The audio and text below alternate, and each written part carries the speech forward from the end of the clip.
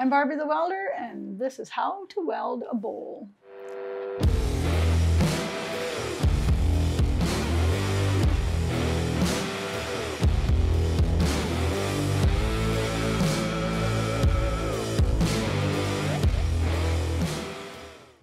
The materials you're going to need to make this project are washers and a little shop prop. And I'm using a nut for the shot prop that is half inch thick here and one inch wide here.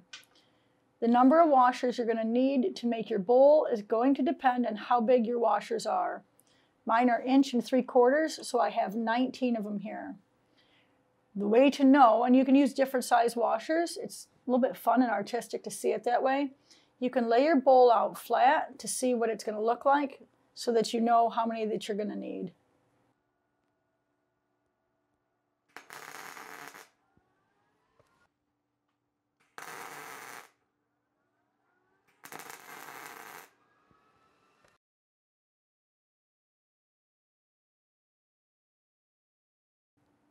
To create the second layer, I'm going to take that nut and I'm going to rest it on the center of the bowl and then simply slide one of the washers up between the two, tack weld it here and here. And then I'll just slowly turn the bowl as I go and tack weld each one on.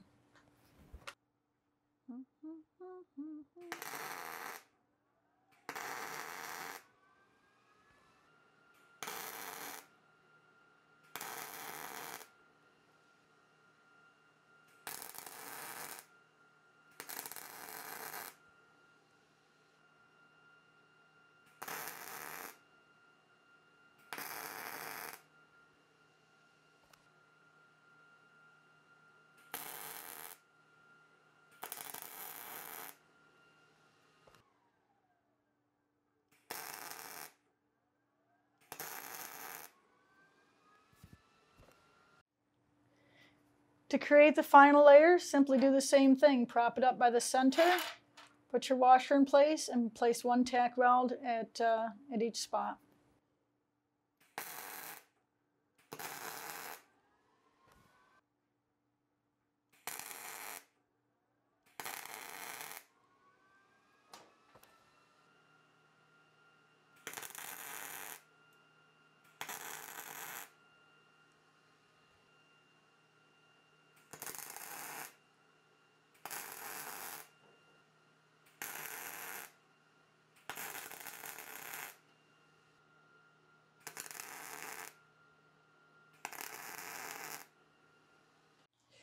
You can continue building your bowl up as tall as you want. I'm just gonna make like a little fruit dish for the countertop, and so I'm gonna leave it right here. Once you get it done, built up to the size you want it, just go ahead and take a wire brush and clean all your welds, and then you can clear coat it with a clear coat made for metal. I'm using my CP875 pneumatic die grinder to clean mine up.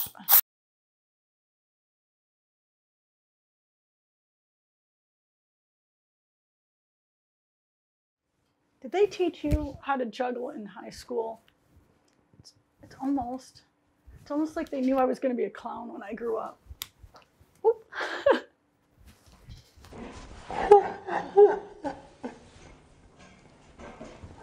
I'm in the process of creating exclusive metal art classes. Head over my website and sign up today to be the first to know what's going on.